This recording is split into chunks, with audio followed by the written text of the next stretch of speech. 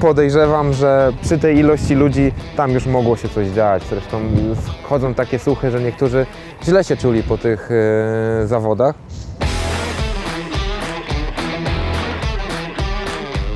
Tego się nie da wyleczyć i jedynym wskazaniem na, na to, żeby było dobrze, to po prostu nie uprawiać żadnego sportu.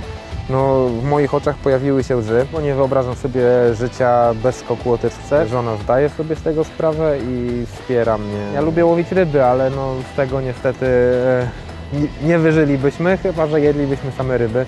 Ciężko mi w to było uwierzyć, a jeszcze to, że, że ja tam byłem, jak e, tak pół żartem, pół serio, znajomi jak słyszeli, że ja tam byłem, no to jednak taki lampka im się zapalała. To jest ten, ten plecak, który zawsze zabieram ze sobą na pokład, żeby absolutnie nic z tych rzeczy nie zgubiło się razem z bagażem, bo, bo to jest must have i musi być zawsze.